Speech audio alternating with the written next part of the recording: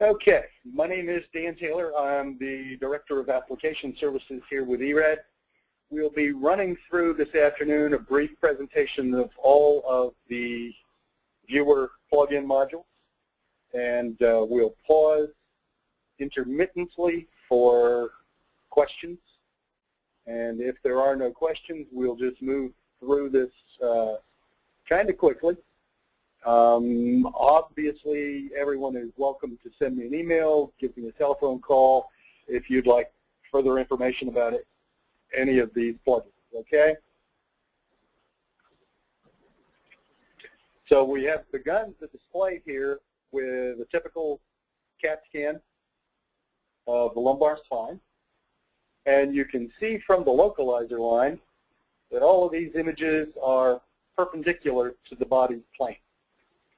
So a very frequently used plugin will be the multiplanar reconstruction. I'm going to go to a single screen so you can see more easily. Simply go to the post-processing menu, reconstruction, and create, and the system has now created a volume. The first, second, and third quadrants here are all manipulation images. And the lower right-hand quadrant is representative of the middle slice of the reconstruction that you're going to create. So you can see as I scroll through that image, the lines change. Kind of a quick, easy example. I can drag these lines, align them with an interspace that I'd like to see more clearly, change the angle, and double click, and I have created by default simply nine slices with the same acquisition parameters, slice thickness, and increment as the original study. So we'll go through that a little more slowly. Go into a single screen, choose the series that I'd like to create the reconstruction on, post-processing, reconstruction, create. Once I've created that reconstruction, I can show the localizer line so you can see where your slices are going to be and the anatomy you're going to cover. And I can change the configuration so that I can increase or decrease the number of slices that will be created. I can change the slice increment and slice thickness. Now as I manipulate these images, you'll see dragging lines, left, right, up and down, scrolling through the images, and simply when I want to save those images or create my reconstructed series, double click on it, and I have a brand new series of 15 images. You'll see that there is an additional thumbnail added to my viewer. It's my prerogative if I choose then to go to File and I can send that image to the server or I can send the entire series to the server, then it's permanent part of the study. If I'm a radiologist and I'm simply using this for reference during my interpretation, when I close the study, those images go away. So you can see now, this is an example of a reconstruction I did earlier.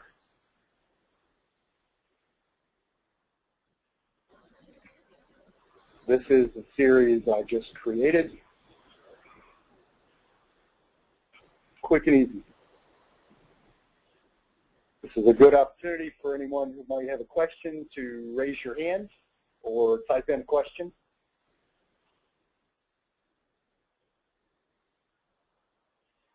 And if there aren't any questions on this particular module, we'll move on to the next. And we'll have a chance later, we'll circle back around and ask for questions as well.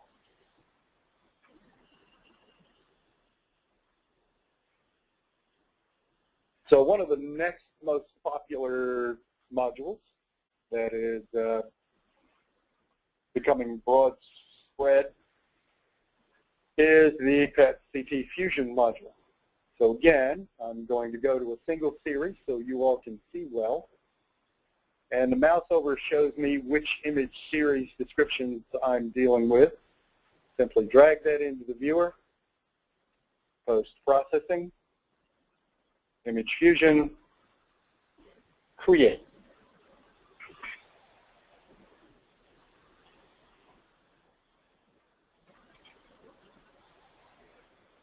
I'm reading a question here, standby one.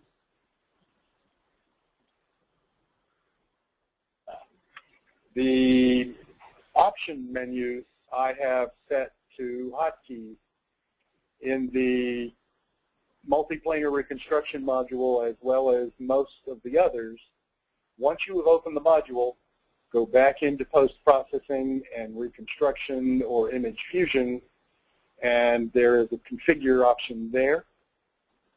Once you have the plugins open, of course, then there are other options uh, available with a right click. So I have my functional image series in. The volume is created. Now I'm going to drag in my CAT scan or my structural image, creating that volume as well. Now they are superimposed. Press and hold both mouse buttons to magnify, just like you do anything else in the viewer. If there's an area of interest, simply move the cursor, press Control, and wherever I'm pointing the cursor, when I click the left mouse button, it will change the focus of my viewing panes the other two planes will go to that same plane. Display options include doing a nine layout so that you can see your structural images independently, your functional images independently, and the fused images.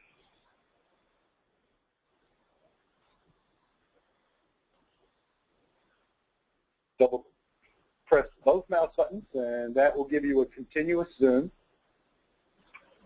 You can change the window level of the structural series simply by using the right mouse button, just like you do in the viewer. So you can see I'm changing the window level on the, on the CT images.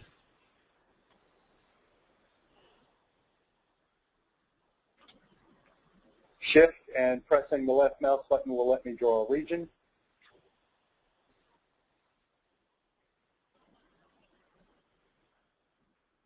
I can control the window level of the structural series as well as the functional series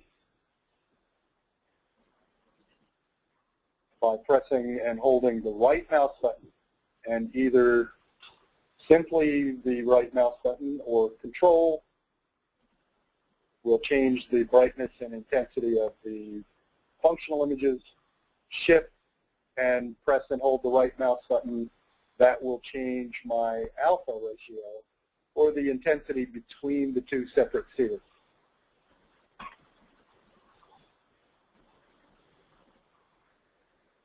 Now drawing the region, you'll also notice that as I move the cursor around the image, the SUV value is showing in the upper left-hand corner of the selected image series. So as I move around the image, you'll see that the SUV value shows up.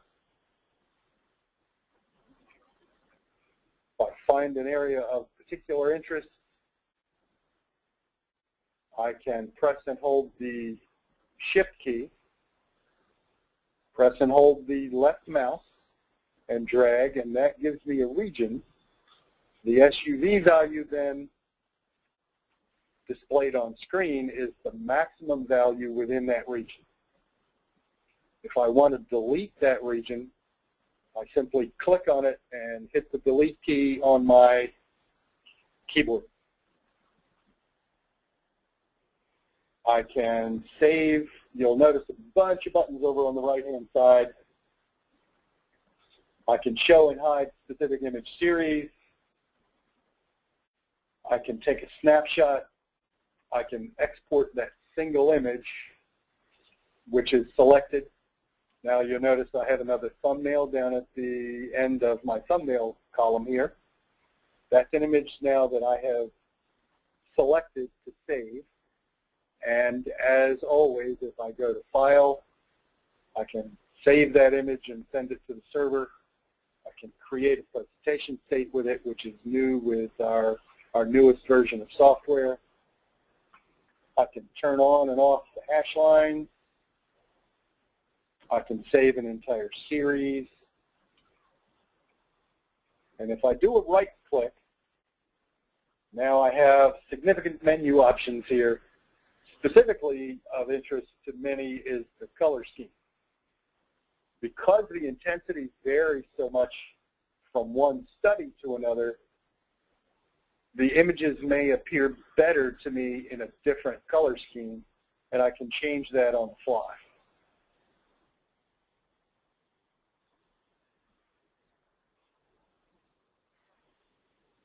So I can window level the structural series, I can window level the functional series, I can change the alpha or the contrast between them. I can select individual color schemes. If I go into the configuration menu, I can choose what I'd like my defaults to be. I can have the fused coloring by default, whatever I'd like it to be. I can have the functional imaging same as fuse. You'll notice I have the MIP image in the upper right-hand corner, black on white. Those, those things are all my prerogative. I set that uh, as my default.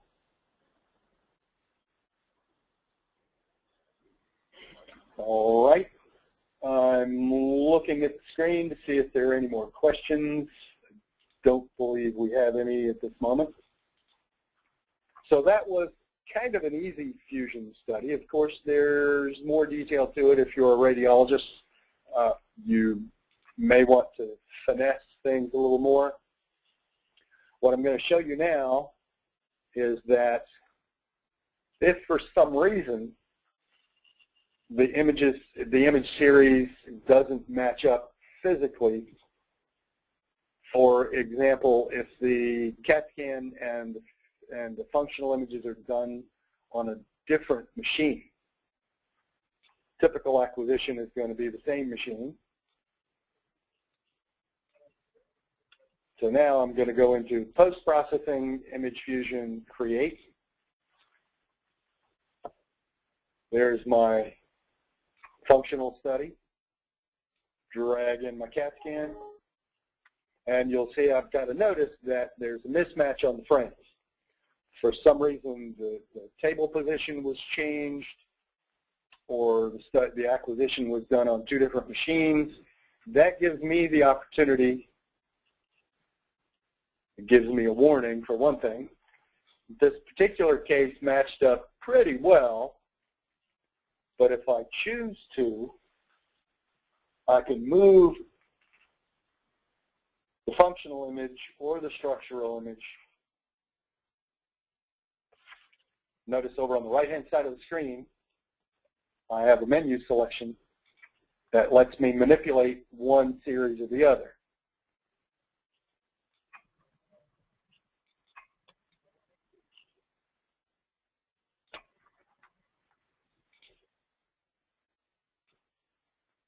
So if they're misaligned, you can place them as closely as you can. All right. Now I'm looking again for questions. So we've done an easy fuse study and we've done a little more difficult fuse study. All the tools and the instructions are very specific. The user manual is very good. So in lieu of any questions on that specific piece, we're going to move on to the next subject.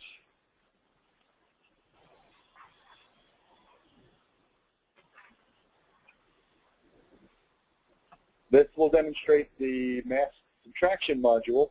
So if you're doing DSA or those sorts of studies, you'll notice the dialog box that popped up said that mask subtraction objects are detected. And it's asking me if it would like me to process those studies when the images are fully downloaded. I can enable this or disable that automated function. And I'll show you how to do that in a moment. But in the meantime, I'm going to let this go ahead and process those studies.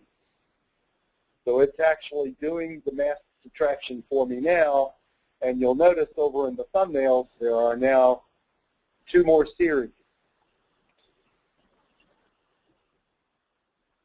So for sake of demonstration, I'm just going to open everything up. This series in the top left and the subtracted series bottom left, top right, bottom right. Now we use this as a runoff, so we use the entire series for the math.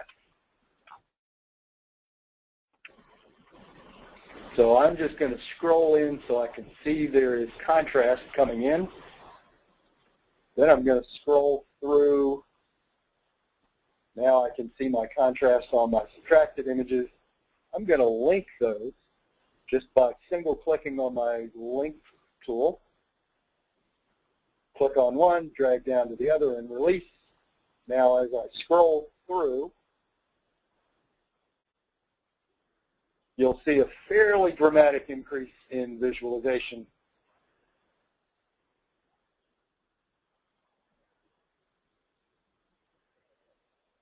And that, again, is pretty straightforward. These post-processing modules are pretty simple to operate. Get a little contrast here, and I'll link this one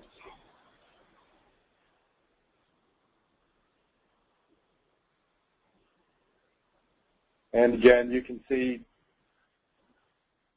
particularly through the midline there, significant increase in visualization of the artery.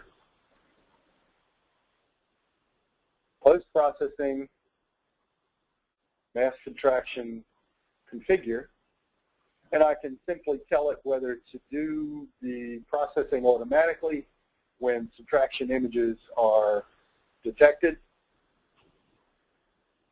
and whether or not to display a notification and give me a choice. So if I turn both of those off, nothing will happen until I tell it to. And again, I'm looking for questions or raised hands.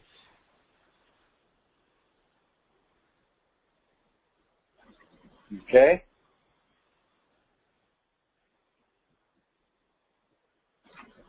Next feature. This is a relatively small echocardiogram. And you all are aware that we have cine mode that you can always turn on and off. What we also have is post-processing AVI player and create and this will allow us, notice the pop-up, the pop-up is telling me the frame rate that has been provided to me in the DICOM header of the study. So I'll just let that continue. So this is the real-time play rate. This is the actual frame rate of the acquisition for those cardiologists who want to read the study at the actual frame rate. Again, another pretty straightforward feature.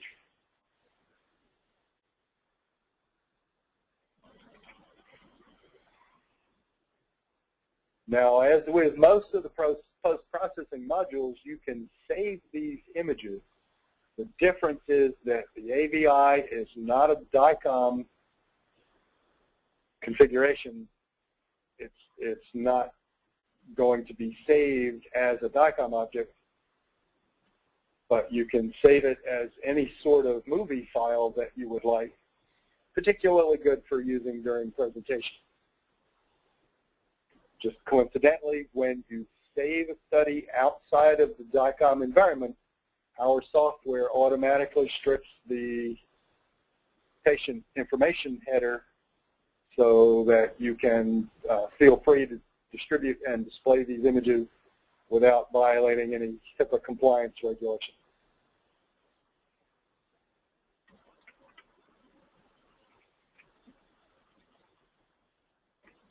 And we're moving kind of quickly. No questions? No raised hands?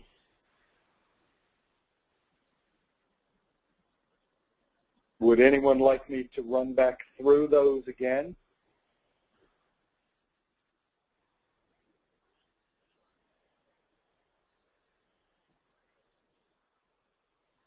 All right. I have one more module that is less frequently used.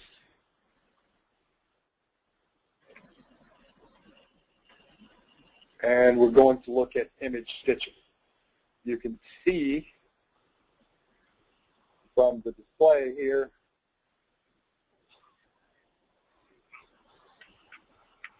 This is the beginning.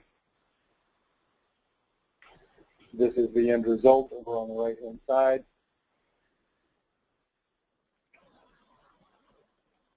This is a little more simplistic than you will find associated with your specific workstations, associated with your CR or DR if you buy the stitching module.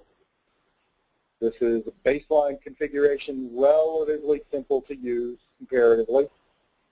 And again, post-processing, stitching, create. So now I can move this image around. I can resize it. Notice my cursor is a hand. My resizing with pressing both mouse buttons works just like it does in the rest of the viewer.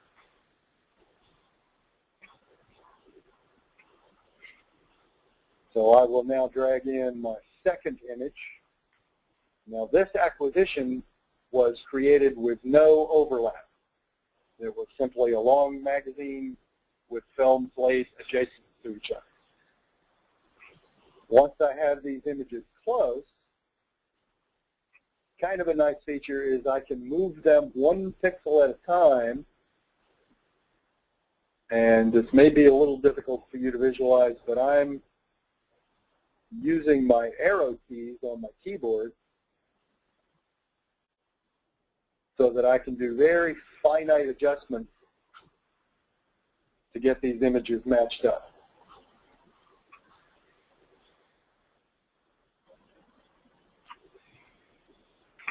I have cropping tools and magnification tools, and if I need to manipulate the image specifically, which I'll show you on the next exam, I have push pins so I can stick that image to the screen.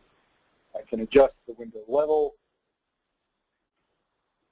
And I have two hands. One is drag an individual image, the other one is to pan both images. Notice my cursor has changed now. When I press and hold my left mouse button, now I'm moving both images. Move them up a little bit, drag in my third.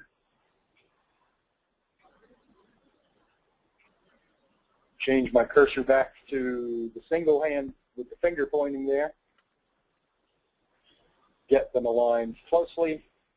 Then use my arrow keys to move them one pixel at a time get them as precisely lined up as possible.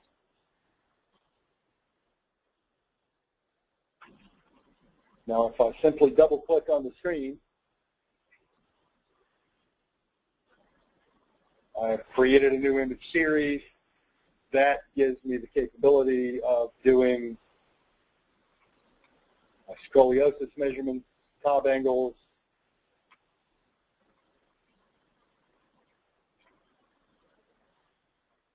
much more easily than I could do on a single image.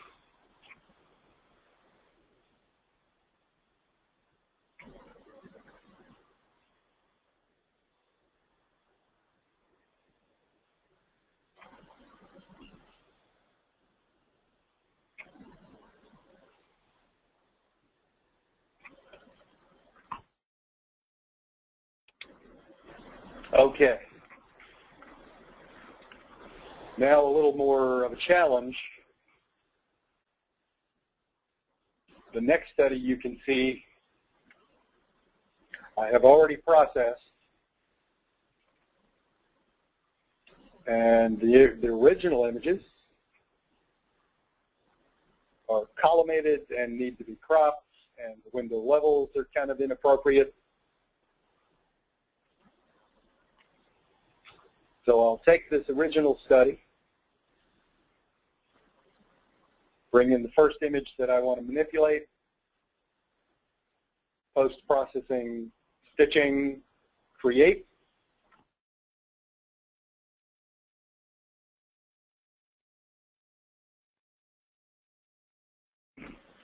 Then I can use my cropping tool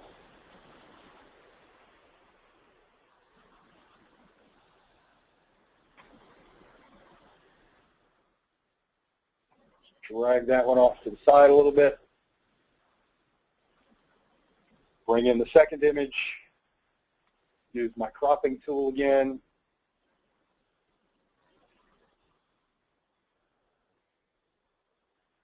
So worst case scenario with really bad pictures, you have the capability of cleaning up the act, so to speak. Now I can drag these around.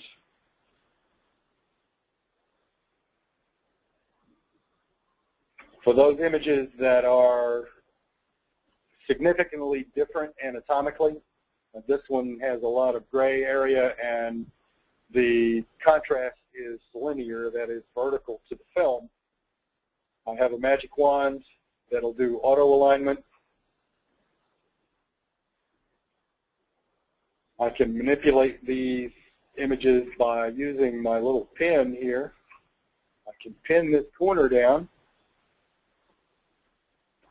and then that allows me to rotate and size so that everything is appropriate. Then I can get rid of pin, manipulate by hand, get it close to my auto, double click and I have a new image.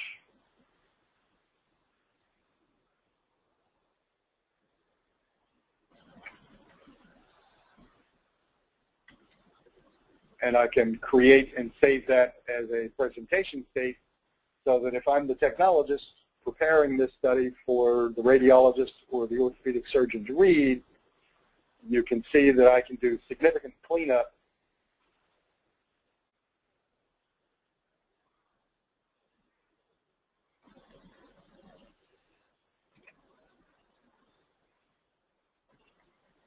The original series is on the left.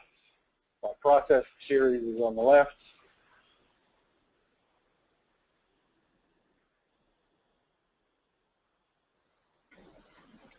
So your doctor will be very pleased with you if you can generate this kind of result. And I'm looking again for questions or raised hands. Let's see.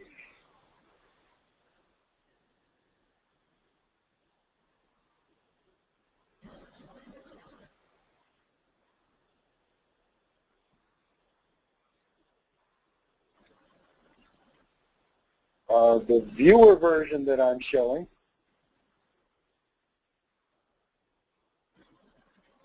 I mean, uh, a couple questions here. The viewer version that I'm showing is version 7, which has just recently been commercially released. So uh, the plugin, however, the multiplanar reconstruction, the fusion, the mask subtraction, those modules have not changed the significant change uh, that we've seen here in version 7 is the ability to save these images as presentation states.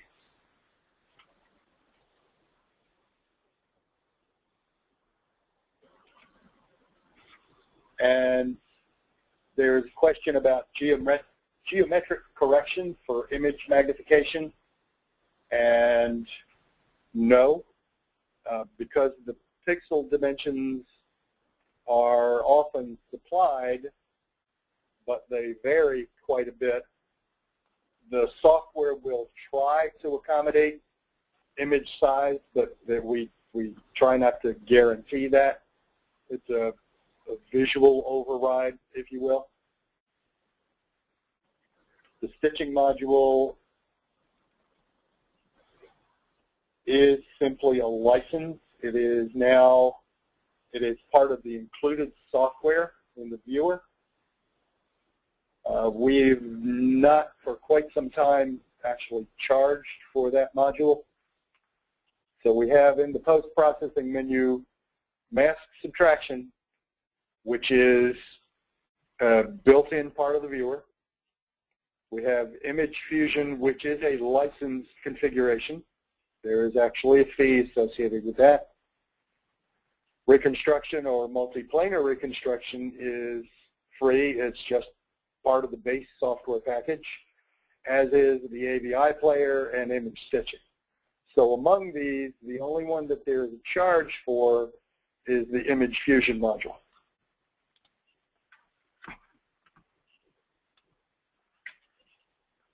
And again, looking for questions and raised hands.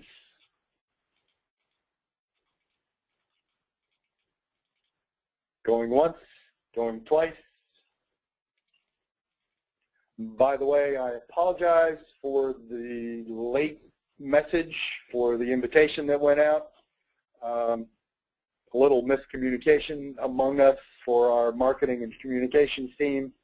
Um, the likelihood is that I will redo this probably after the first of the year.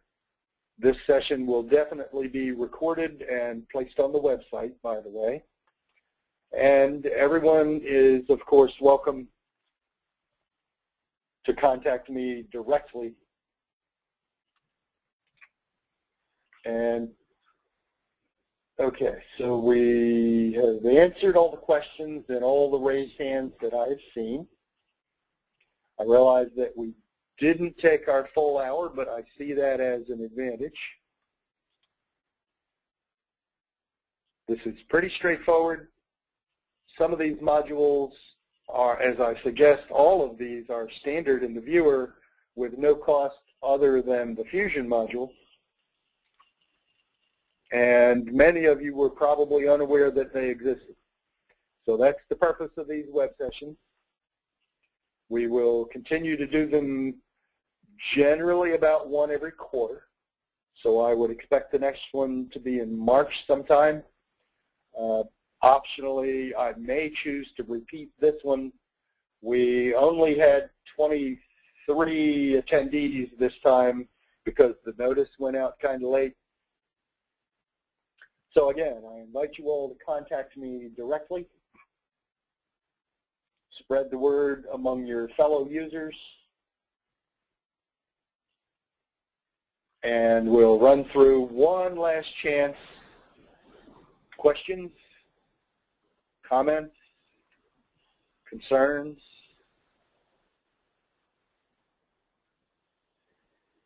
All right. I appreciate everyone's attention. We've been running 36 minutes. So we'll cut it off at this. Oh, I see a raised hand.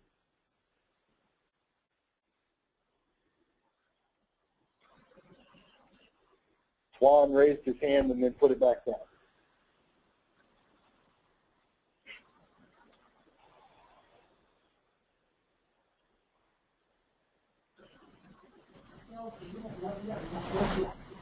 Hey, Dan, can you, yeah, I can you, unmuted you. Did you have a question? yes, I do. Can you hear me okay? Yes, sir. Okay. This new viewer, verse 7, do you have a new Mammo layout also? Uh, in version 7, the difference with the Mammo tools is that the hanging protocols now will recognize the series description. We probably will have a specific webinar on the mammography tools But uh, that's Okay. the major difference is that hanging protocols, especially for mammography and MRI, hanging protocols that recognize the series description allows us to no longer worry about the sequence the images were obtained. That answer your question, Flan? Yes. Yes. I so so it is available now, basically. Version 7 is commercial, yes. We have a waiting list for folks to uh, get it installed. So, So you that, can, Flan, Flan, if you'd like, contact me, give me a call after the session is over, and we can talk about it more in more detail if you'd like. all right. Sounds good, Stan. Okay, very good. Thank you. Questions, comments from anyone else?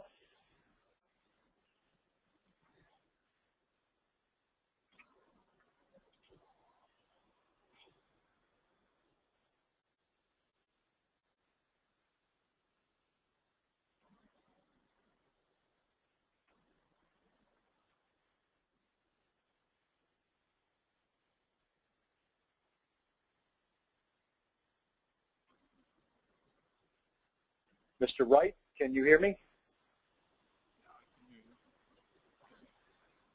Can you hear me? Bob Wright? You had your hand raised, so I unmuted you.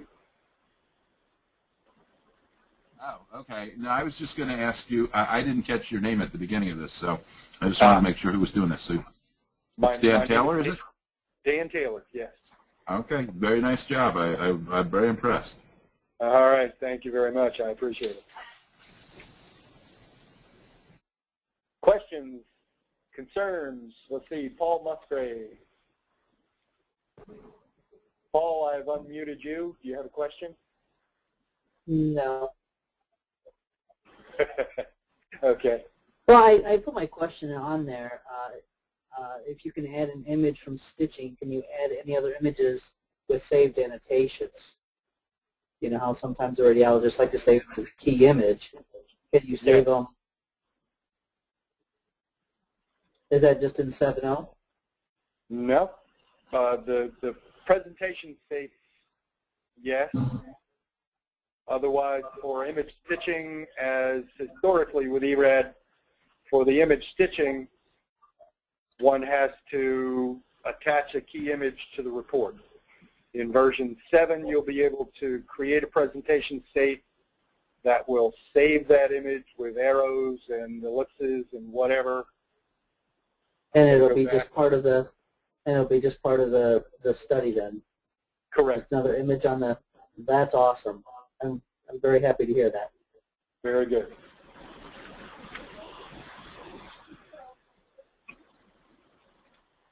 So we've apparently made two people happy with me, so I think I'll probably quit while I'm ahead. I'm going to check one more time for typed questions and raise hands.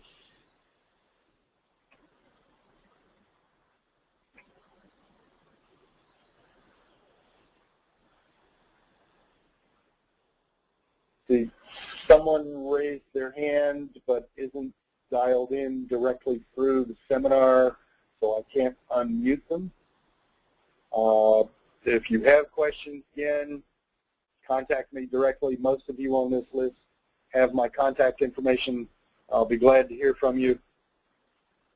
And we're going to wrap it up. We're going to try to clean up this recording and get it on the website within a week or so so you can refer to it. And I sincerely appreciate everybody's time and effort to join the webinar. Take care.